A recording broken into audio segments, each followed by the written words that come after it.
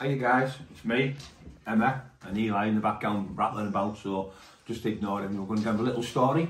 Me and my brother were at um, Stockton one way one day. Stockton was the first railway to Darlington, down to the uh, Stockton was the best first railway station in the world, train station.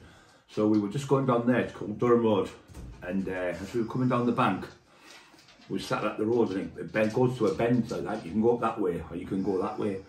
And the other cars can come down this way. so as at that, these kids come flying across the road.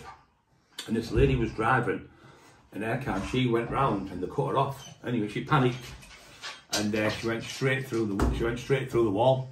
Anyway, the car, she, she obviously, uh, uh, Eli, stop it.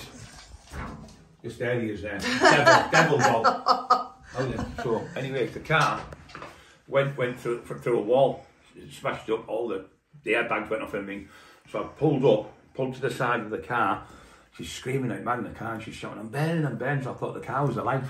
So I've run to the car, shouting, body, my, brother Bobby, who was in the car, said, 4999, get the ambulance here. So he's phoned them and he ran. So I've run to the car, opened up, and there's all like, like it was like smoke. But it must be off the airbag, somebody said. And she said, it's burning, it's burning. So she, whether it was or not, I don't know, but she was all red and her face was red. So anyway, under the seat, seat and she was, I said, calm down, calm down, everything's okay. My, my husband, my husband's going to kill me. I'm supposed to catch a brand new car, she's going to kill me. Oh, my, my husband's going to kill me. I said, calm down, look at me, give me, give your hand, look at my eyes, breathe, look through your nose. Hold it in, hold it in, breathe back out. calm down, calm down. Forget about how long have you been together? She said, 30 odd years. thought maybe, but not 30 odd, I'm nearly 40, yeah. 30, yeah, I think she said. and uh, I said, do you think your husband's going to be worried about a piece of plastic and metal and iron um, tin?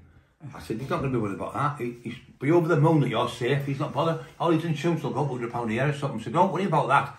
She said, it could have been worse. You're right. She said, I've got to talk him now. Um, she was definitely in shock because her skin was clammy and sweaty. Uh, she's a bit grey coloured. So I said, everything's going to be, I promise me, trust me, everything's going to be okay. Anyway, she's, she's holding me hand, she's going, thank you, thank you. She said, no, you don't have to thank me, where here. Um, blah, blah, blah, talking about loads of things like that. And the next minute, um, there's a bus coming, and the buses are coming down the road, because it's, it's a big, busy road, that Durham Road. So anyway, I'm, I'm in the car with her. Anyway, a woman pulled up, and she was an A&E nurse. She said, oh, yeah, you're doing brilliant, but they're doing brilliant. So anyway, I was talking to her, and as I turned on talking to her, she got out the car, and she started to walk across the road. Anyway, the bus started coming towards. So I said, grab her and pull her away from the bus. I said, the bus put, put my hand up right at the bus stop. I went, sorry, sorry, there's been a crash. She went, it's okay, okay. So anyway, I took her back to the car and I said, look, stay in the car, sit here, everything's okay.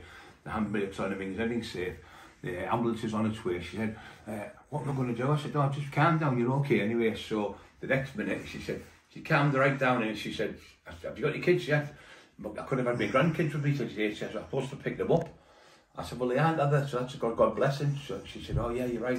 So can I just phone my uh, daughter? So she phoned her daughter, and the daughter comes, she's probably up 30 year old, something like that, maybe, maybe a little bit younger. And she's out here, eight, eight, eight, nine months pregnant. So she's walking down the, the bit of the bank, and she's going, ah, I start screaming a little bit because of her mum. And I'm going, don't you start, I can't give birth to you and give mum at the same time. Then they start, they all started laughing, it was good. Then the cops were there, the ambulance had come, um, the ambulance was waiting a little bit longer than the police. The cops said, oh, you've done fantastic. He said, I said, you want to, no, you'll carry on, you've got it perfectly in control. So I'm holding her hands and she's a lo lo lovely woman, 66 year old, telling me a story and all that. I just felt lo lovely to, to help her. Anyway, the ambulance comes, so we had to go up to the ambulance. Oh, no, I want you to take me to hospital. I said, you can't get Mark out of hospital. I said, it's too, too, he said, these are proper professional. No, I'd rather go with you, she was saying. And, uh, the, the daughter's laughing her head off. Anyway, we go to the ambulance and uh, the ambulance driver, Gary, says, he said, do you want to come with I said, no, I've got my car, my brother at the bottom of the road. He said, but give her a cuddle and all that. I said, look, you look after yourself, love you to bits, and God bless you. Everything, promise me, look at me, everything's going to be okay. And she said, I'll never forget what you've done for me, son. She said, I'll never ever forget you. Um, and what's your name? I said, Brian Cockerill. She said, I'll never forget you. And he read just a little story in a day. And uh, and the cops, when I come back down, you won't believe this, the cop was turning on, patted me on the shoulder and went, well done there, big fella, you did absolutely brilliant. And the nurse come up, said, he did. I'm a, I'm a nurse, emergency nurse at, at A&E. I panicked, I was panicking like mad, he was just so calm. Uh, absolutely brilliant what he done. So yeah, just a little story in the day. Yeah, he is. Rat bag make the noise in the background. Come Eli. on, Eli. So there he is.